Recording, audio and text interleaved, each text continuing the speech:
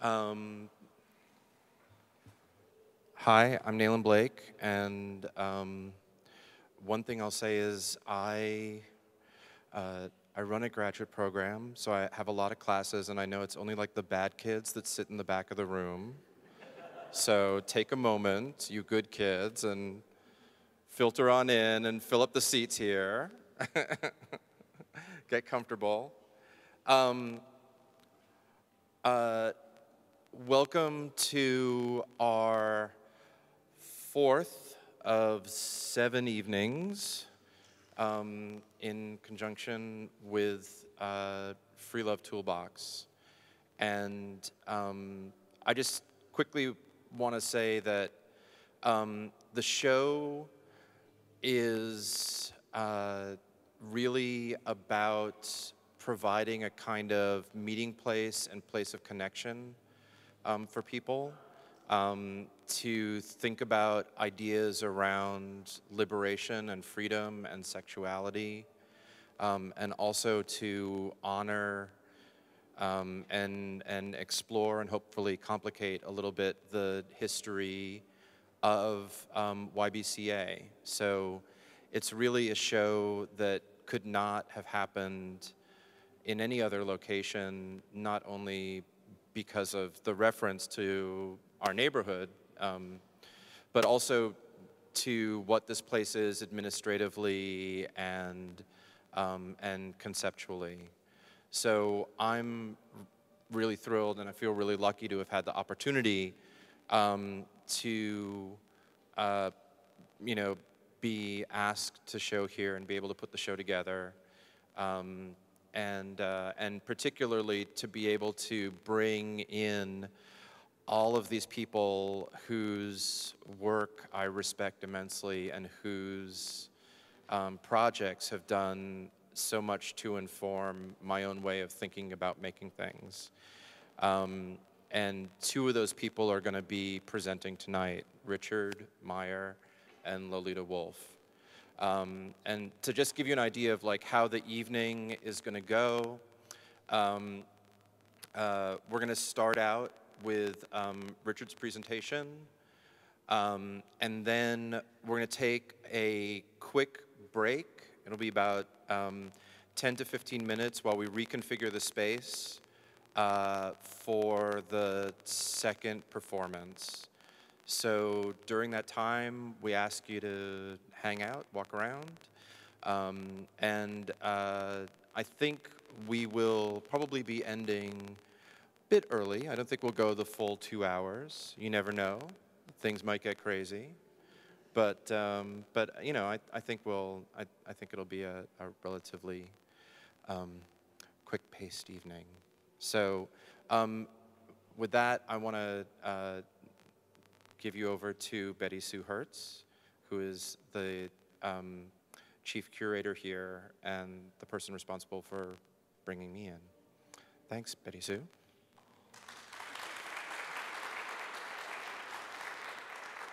Let me, lower this. Oh my God. All right. Hi. Um, welcome. Uh, welcome to Yerba Buena Center for the Arts.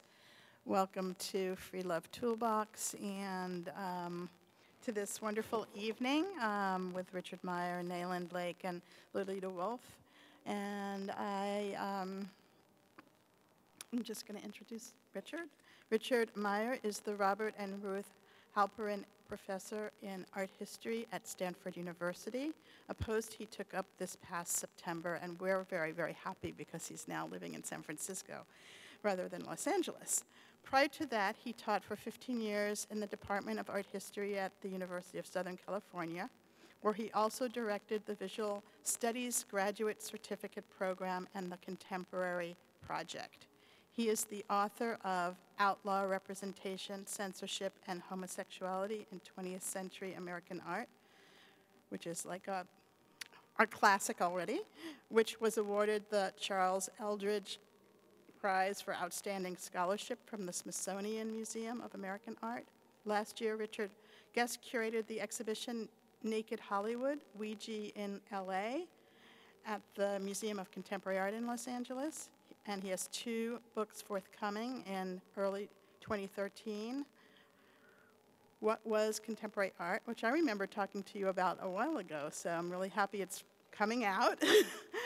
uh, published by MIT Press, and he's also co edited with Catherine Lord Art and Queer Culture, which will appear in April from Phaidon Press. So please uh, help me uh, to warmly welcome Richard Meyer.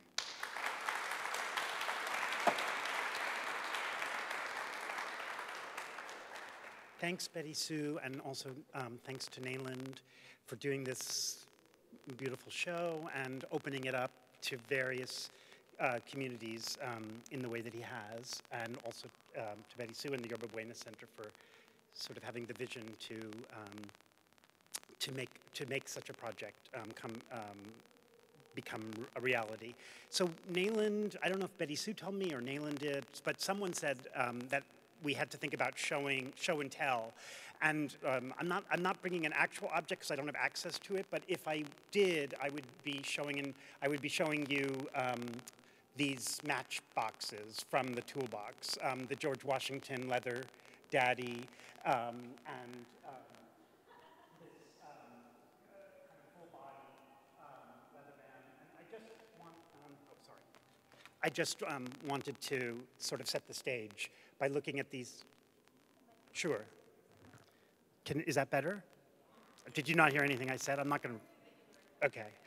Anyway, this is my show and tell. And the, the talk starts um, with a quote from Walter Benjamin.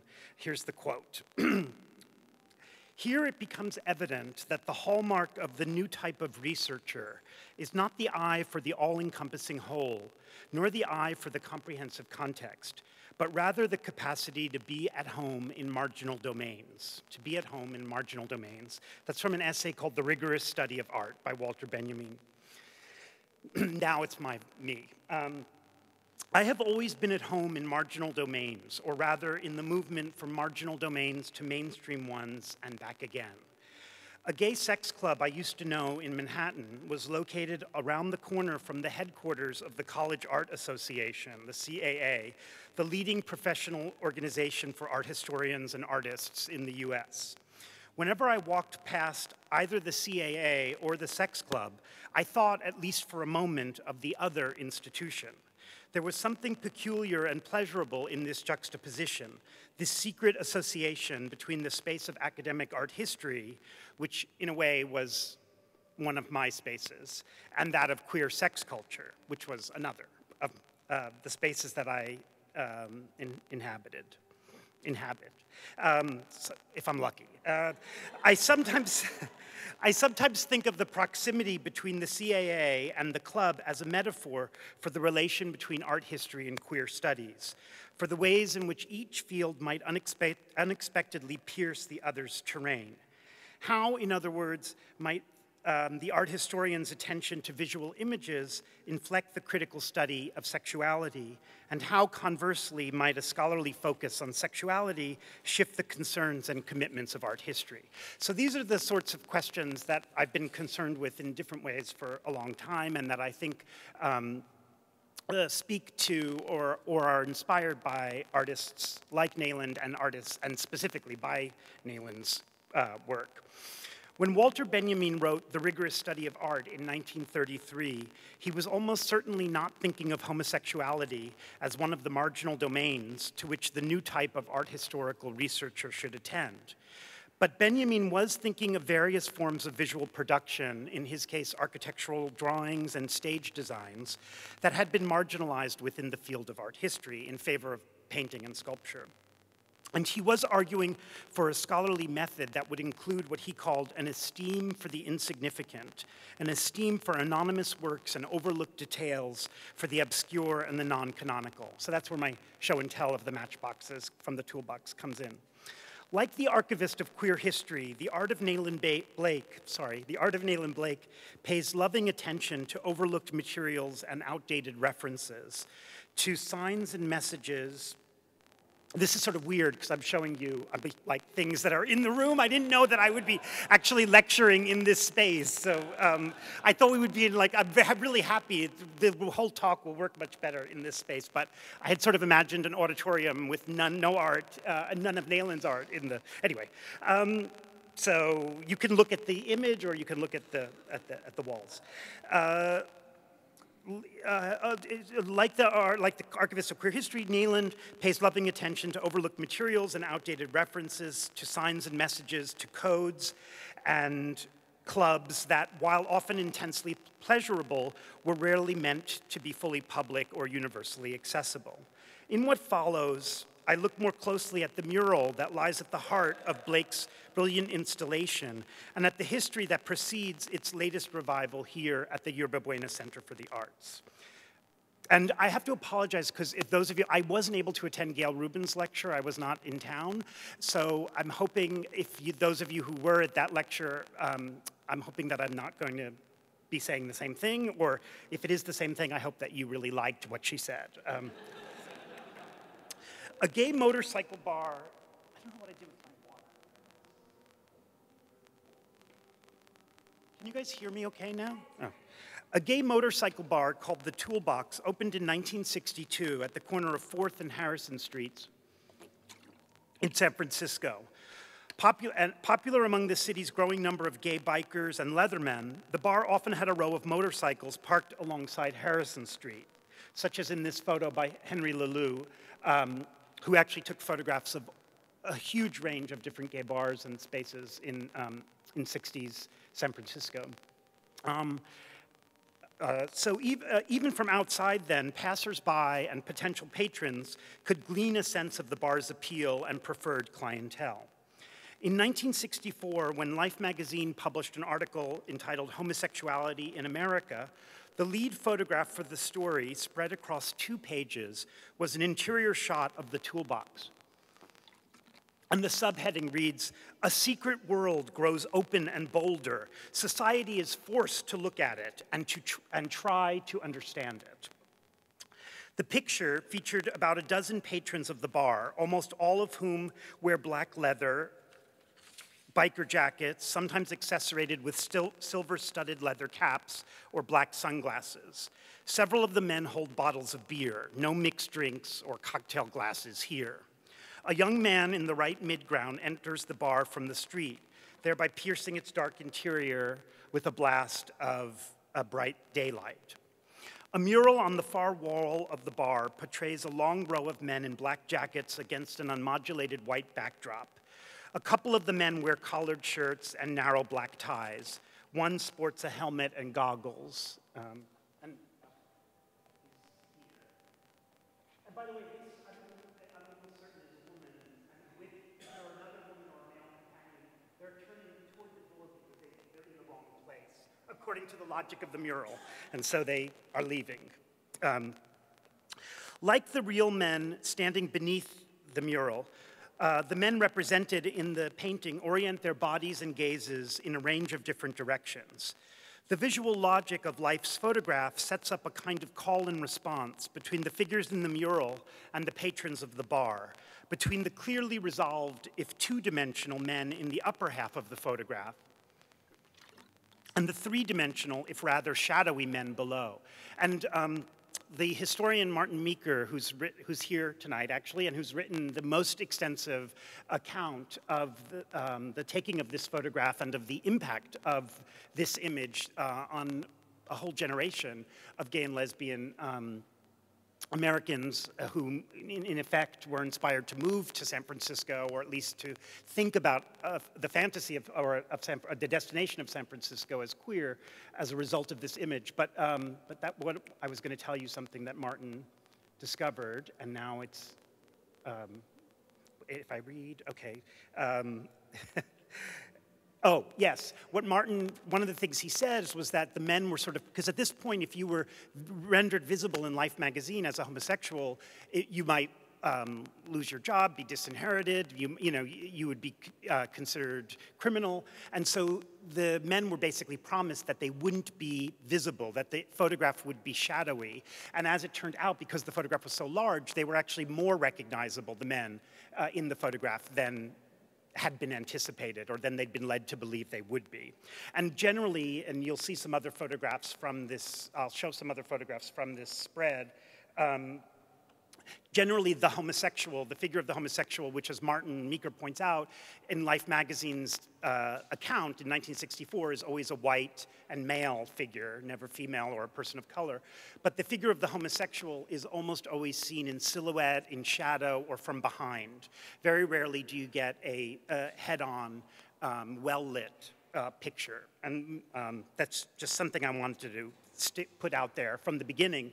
Um, the mural, okay, the visual, okay, the mural was painted in 1963 by Chuck Arnett, a San Francisco artist who was also a bartender at the Toolbox. And I'm just showing you here two other images, uh, bar-related uh, works that by Chuck Arnett. Um, this is like a little, it's actually very small, I think card, uh, um, promoting Group Party Thursdays at the Why Not Bar, which was an even earlier, I love that name for a bar, an even earlier leather bar in San Francisco.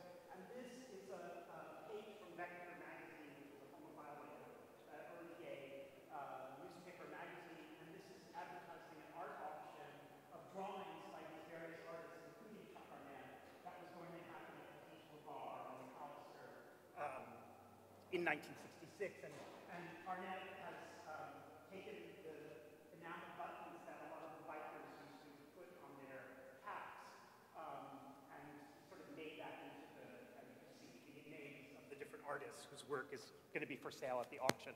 So just to give you a sense that he, that Arnett, among, uh, among a host of artists, um, was very involved with the bar world in the 60s and the leather world. And it isn't that he just did this mural. He did other bar murals and also other kinds of posters and promotional materials for the bar scene. And it's also interesting to me that he worked at um, uh, at the bar itself. Um, okay. Uh, Arnett, in fact, appears in the life photograph. So this figure, I believe, third from the right, in full leather and, and profile with the beard, is Chuck Arnett, the, the painter, uh, maker of the mural. Arnett, in fact, appears uh, in the life photograph. Um, although life therefore features both Arnett and his mural, the artist is never identified by name either in the photographic caption or in the accompanying article. And again, this could be in part life's policy of, of, of sort of protecting um, um, the, the, this, the subjects um, photographed, and it, it, but it was also very common. Um, one of the earliest gay bars was called the No Name Bar, and it was common to sort of uh, want to avoid, for legal and social and criminal, you know, possible uh, criminal reasons, avoid being named or identified as a homosexual, even uh, to the outside world, even as one was circulating very freely within uh, the confines of a subcultural, uh, of various subcultural spaces. Okay. Um, even as he stands among the men who patronize the toolbox, Arnett poses beneath the painted representation of those men he has created for their viewing pleasure. However unacknowledged at the time, the presence of Arnett in the photograph adds another layer of meaning to the dialogue that unfolds within it. In 1971, in the midst of the gay liberation movement, the toolbox closed. In 1975, the building that housed the bar was demolished. For some time after the raising of the bar, and the amount of time is various accounts range from a few weeks to as much as two years, but so I don't, but for some amount of time after the demolition of the bar, a single wall of the original structure was left standing, the wall on which Arnett's mural was painted. And actually, this, um, where the, the image that Nayland Blake has used for his recreation of the mural, you can see is a detail. It's, this, it's the mural in ruins. Um, it's, this, it's taken from this or a similar photograph, probably by Michael Kelly, um, or maybe by Henry Leleux, I think the caption said. Um, For a time after the demolition, a single wall with the mural on it was uh, left standing. Um, a 1975 picture by local photographer and occasional toolbox patron Michael Kelly shows the mural still marvelously intact beside an expanse of concrete blocks and collapsed metal beams, of rubble and rocks and architectural debris. Arnett's mural, intended for the interior of a gay bar, has unwittingly become a public work of art that is no less visible to passing motorists and pedestrians than, say, the Harrison Street sign behind the detritus strewn lot on which the bar once stood. You can see the sign for Harrison Street. And I kind of want you to remember all those motorcycles parked along Harrison Street in the 1962 photograph I showed earlier um, as kind of the, um, the ghost of, or the, the legacy of the toolbox and the men and actually some women who patronized it. Um, Arnett's mural, oh, I said that already. Okay. It is almost as though the process of architectural just demolition and reconstruction has itself paused before Arnett's mural, as if in hesitation or momentary, momentary refusal to tear down the picture. And I believe that what stands at 4th and Harrison now is a Whole Foods, I believe. So there seems to be a certain um, I don't want to call it poetic license, but a certain um, sort of something very characteristic of our own moment um, in, in culture that, that where the toolbox once stood is now a Whole Foods. I am, um, I am an admitted latecomer to the story of the Toolbox mural. By the time I moved to San Francisco in 1988, so anyway, this is not important, but I, I lived here during graduate school, so this is my second time living in San Francisco. But anyway, when I moved here in 1988, and, and actually shortly after I moved here, I met Nayland Blake, um, who was living here at the time too both the bar and, the, and, its mural were long gone. Even though Nayland and I were here, the bar, the toolbox, and the mural were gone. By the time I saw Michael Kelly's photograph in 1998, 10 years later, a number of other queer scholars, namely Gayle Rubin, Martin Meeker, Willie Walker, and the writer Jack Fritscher, had already excavated the history of the toolbox and its mural. I do not regret my belatedness, however, because the prior work of these writers has created an ongoing dialogue about queer history, one in which Arnett's mural, Life's article, and Kelly's photograph also participate. It is a history which remains ongoing, and I'm showing you here the cover of Martin Meeker's 2006 book, Contacts Desired, which traces the history of gay and lesbian communication networks in San Francisco from the 40s through the 70s and includes, as I mentioned, uh, a groundbreaking chapter on the life um, layout, not just the, the toolbox mural, but the whole layout and its impact on readers and um, proto-gay and lesbian subjects at the time. Um, and that dialogue in, now includes Nayland's work. Here's a picture of Nayland working on um, Free Love Toolbox.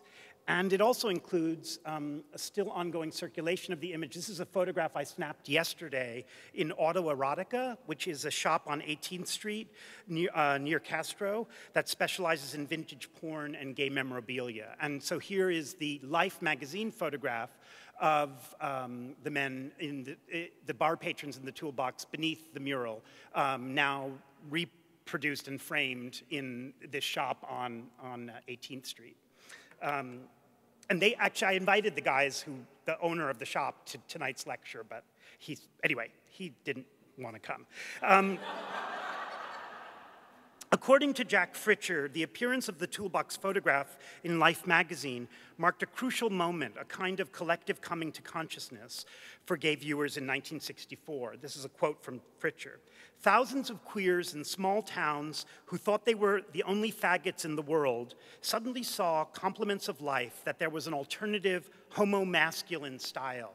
And actually, this issue of a homo masculine as opposed to a Nelly or effeminate gay male or male um, style of homosexuality is a very important part of the story, which I don't have time to get into, but I think is, is interesting. And maybe, anyway, we can talk about it or think about it later. Um, Martin Meeker has similarly argued that life's coverage of, quote, the gay world of San Francisco had the effect of advertising the city and the, its available resources to many an isolated homosexual. And in many cases, the advertisement was alluring enough to encourage them to want to move to the city, end quote. That the photograph should have galvanized gay readers to move to San Francisco is not without a certain irony, given that Life's 1964 article insisted on homosexuality as pathetic and disgraceful. Listen, for example, to the magazine's description of the patrons of the toolbox. So this is from the, um, oops. This is from the, uh, one of the captions, or, or, no, it's actually from the article itself, where they're the the writer is talking about the men who patronize the toolbox. Um, these brawny young men in their leather caps, jackets, and pants are practicing homosexuals, men who turn to other men for affection. They are part of what they call the gay world, which is actually a sad and often sordid world, end quote. The anonymous writer of this passage aims to undo any sense of the gay world as a pleasurable space of difference by insisting that such a world must be sad and often sordid. In a similar, similar rhetorical maneuver later in the article, the apparent butchness of the men at the toolbox is revealed as just so much foppish premeditation. Quote, this is from the article. The efforts of these homosexuals to appear manly is obsessive in the rakish angle of the, ca- of the caps, in the thumbs boldly hooked in belts. End quote. While these men may look like bikers and tough guys, they are, life assures its readership, just a group of Nelly homosexuals whose manliness must be choreographed down to the last thumb gesture. Other photographs in the same article underscore the flamboyant problem posed by the male homosexual, and as I mentioned, all the homosexuals in Life magazine in 1964 are male and white um, so far as we can tell from the shadowy uh, or, or rear view that we get of them. But anyway, other photographs in the same article underscore the flamboyant problem of the male homosexual, whether he circulates in Pershing Square or Hollywood Boulevard in Los Angeles, in the Village in New York City, or south of Market in San Francisco. And those are the three cities that are featured um, uh, prominently in the article. And a, the article becomes almost a kind of tour of the gay worlds of these different cities. This is part of the tour of New York, takes us to the park in Washington Square, and this photograph, which is captioned as follows. Two fluffy sweatered young men stroll, that's why I'm wearing a fluffy um, jacket tonight. Two fluffy sweatered young men um, stroll in New York City, ignoring the stare of a straight couple, and straight is in scare quotes. Flagrant homosexuals are unabashed by reactions of shock, perplexity, disgust, end quote. The homosexual, as I mentioned, is, is, almost always shown from behind or in silhouette. And in this picture, therefore, what we see most conspicuously is not the flamboyance of the gay couple, but the homophobia of the straight man and women, woman who face the camera. So, in a way, I like to think of this photograph as really kind of of the straight couple and kind of about their perplexity, shock, and disgust, and in a way about Life magazine's own perplexity, shock, and disgust in the face of um, the gay world. Um, the gay world of Los, so this is part of the gay world of New York, and the gay world of Los Angeles, for its part, is first represented by an image of an attempt of attempted police entrapment. Uh, the caption reads, a policeman in tight pants, uh, sorry, a, a policeman in tight pants disguise waits on a Hollywood street to be solicited by homosexuals cruising by in cars. And so there's the, one of the cars cruising by, presumably with a homosexual inside, who's going to solicit um, this tight pant disguised police officer. I didn't, uh, I didn't know that tight pants were a disguise, but I guess if you're a straight police officer or supposed, whatever, in 1964, that, um, and you're, and anyway. Um, uh, later in the article, we are offered uh, a shot of the so called frantic hour when homosexuals face their last chance for a pickup that night. And um, this is uh, the frantic hour um, on Main Street in Los Angeles, and it says comes when homosexuals face their last chance. One of the things that's interesting about the photograph is no one looks frantic at all. They look quickly like they're just standing up the street. Um, but it's only Life magazine that sort of renders this the frantic hour, it seems to me. Although we've all been there at that hour. Or, I don't, I don't know if frantic is exactly the word, but uh, certainly it can be stressful. Um,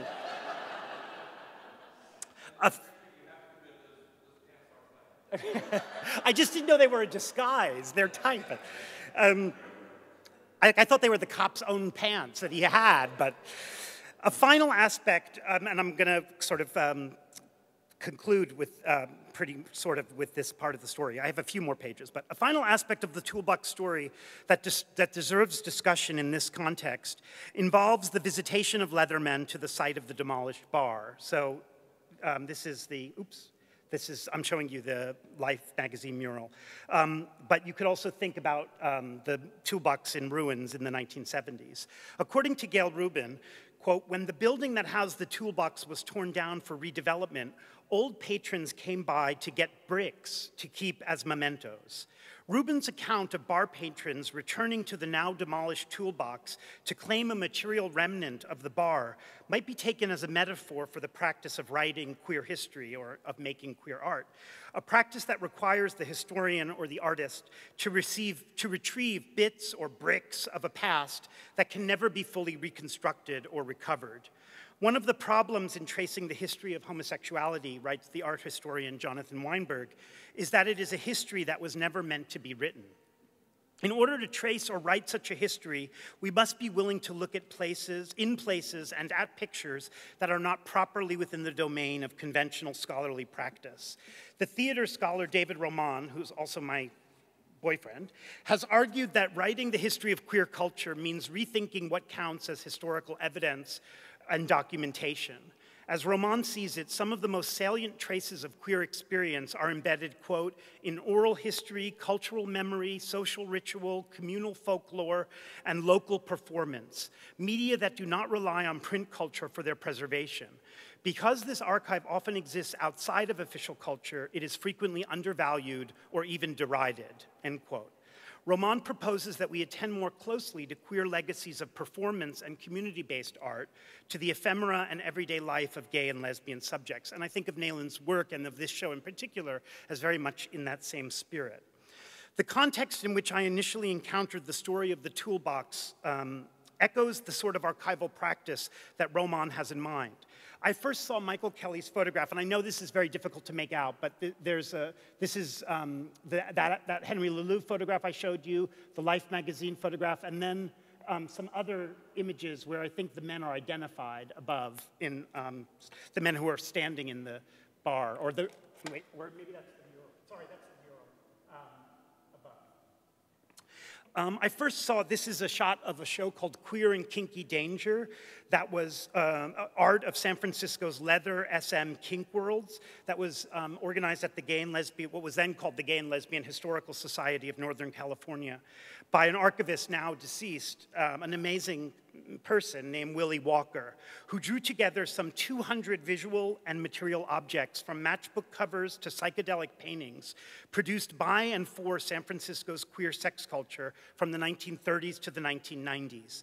The exhibition included prints, drawings, photographs, paintings, and sculptures that once decorated the walls of local bars, clubs, and bathhouses, as well as posters, buttons, greeting cards, matchbooks, t shirts, and banners created for gay and lesbian clubs, parades, parades, parties, contests, auctions, and orgies.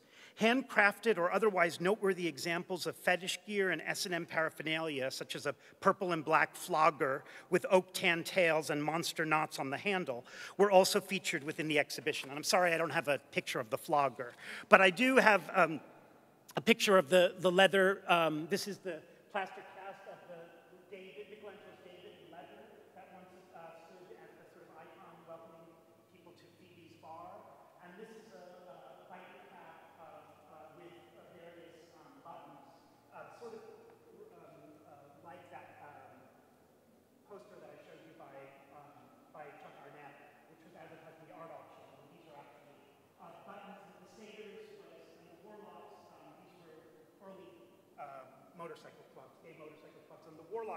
was actually the first motorcycle, gay motorcycle club to include women in its um, membership. So, um, so I'm just trying to give you a, the smallest taste of this show and thinking and trying to revive uh, queer and kinky danger in the context of free love toolbox. Works such as the David from the Febe's Bar or the mural from the Toolbox were created to adorn the interior of gay bars, not to be preserved in an archive or presented in an exhibition at a historical society. And yet, it is the unlikely introduction of these objects into archives, libraries, historical societies, and museums uh, uh, or art spaces that allows them to be seen and studied in the present. In some cases, the material modesty of the objects at issue, a set of matchbox from the toolbox, for example, one of which features George Washington, father of our country, as a leather daddy, retroactively imbues them with historical value and particularity. As Roman suggests, studying the queer past means retooling the methods of scholarly analysis and description in the face of an object as tiny yet unforgettable as a matchbox um, as, a, as a matchbook put, uh, portrait of George Washington as, uh, as a leather man. In light of the limited exhibition space he had to work with, Willie Walker decided to extend Queer and Kinky Danger into the archival storage area of the Historical Society. At the end of one long aisle of storage boxes filled with queer periodicals, scrapbooks, correspondence, and ephemera. So, this is actually the storage of what was then the Historical Society. And at the end of that aisle, um, stood a large painting of a man in mirrored sunglasses displaying his muscular body and exposed penis. Walker's catalog text describes the original context for which this painting was produced. Uh, in 19, quote, in 1979, what had been Jack's Turkish Baths was redecorated and became the Bulldog Baths. It featured, among other things, two tiers of jail cells, a standalone bird cage. I don't know exactly how the bird cage would be used, but um, and an entire semi truck in a garage like setting. The owners hired artist M. Brooks Jones to paint a massive mural on sheetrock of various fantastic sexual scenes. When the Bulldog closed in 1984, several gay historians rescued the panels which made up this mural.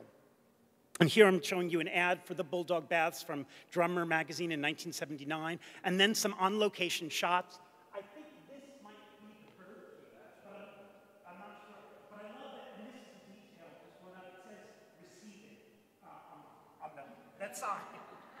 uh, on the jail uh, cell wall, uh, bars.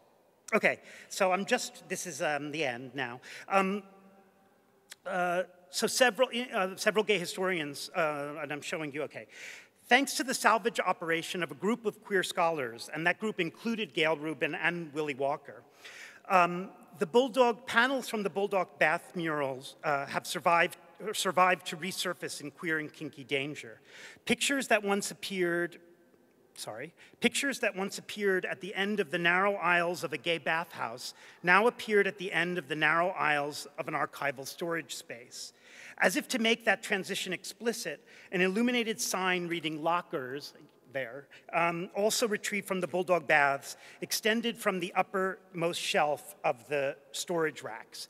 And in a sense, those archival boxes uh, in those racks were lockers, but they enclosed not articles of clothing, but documents of social and sexual history. Seeing the panel from the Bulldog Baths beside all the boxes stacked um, beside it, beside the stacked set of storage boxes, it occurred to me that the panel the, from the painting from the mural could never fit inside one of those boxes.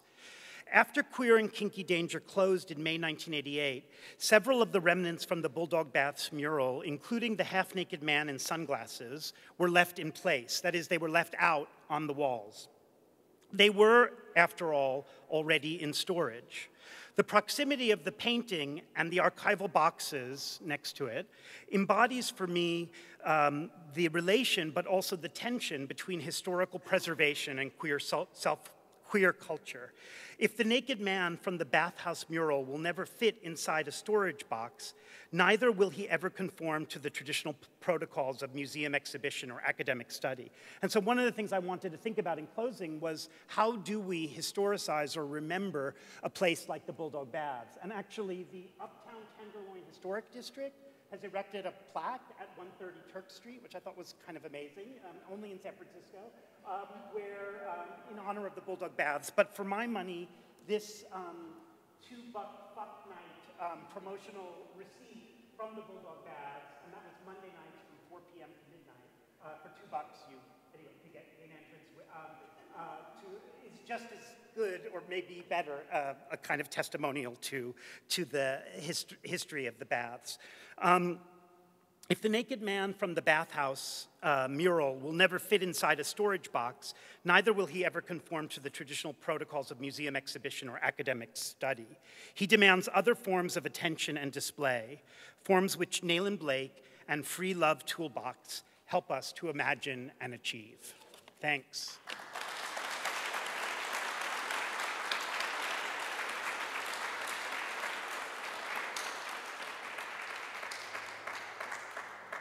So um, I promise that, you, maybe, maybe we'll, fi- if there's five minutes, do you think? If any questions, questions are actually um, my favorite part of something like this because I learn, I know what I said, but I don't know what you heard. And when you ask a question, I get a sense of what actually was heard. So just anything at all. Just give me something. Yes. Dayla? Well, I don't know if this is a question, which means that isn't. Okay.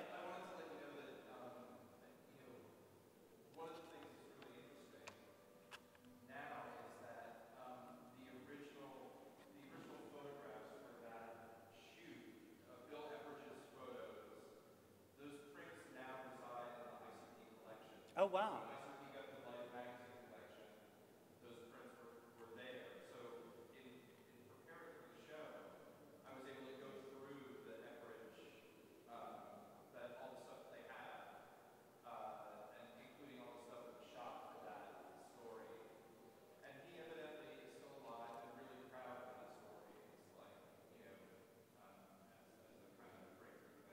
Although I remember, and I, Martin, I don't mean to put you on the spot, but I remember when Martin was working on the dissertation or the book, I think it was fairly challenging, right? I thought, to get the rights to reproduce those photographs? Uh, it was, um, well, there were some issues uh, around actually accessing the original photos, which were kind of unknown where we were not accessing. And so really the only way to do it, there were also questions about uh, uh, assigned rights to those composing photos. They didn't have those on file, so they felt like they couldn't give uh, authority to it. And what they did allow them to do, and I reproduced recently, show us um, actually just photographs and page spreads themselves, I can uh, show as well. They happily gave me that because it was their own published. Um, I, I, this, is, this is a great story. I have no idea that that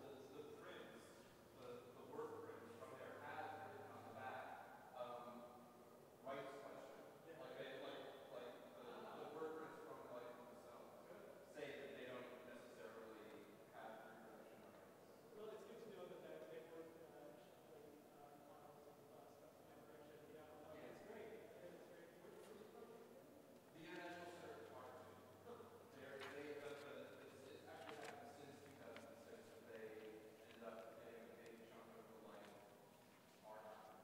You can also, oh, sorry.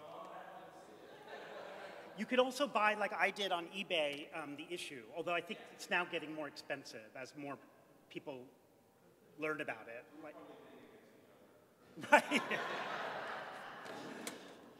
well, thank you for listening, and I uh, look forward to, to now being part of the audience for the performance. I think we're going to take a break, right? About 15 minutes?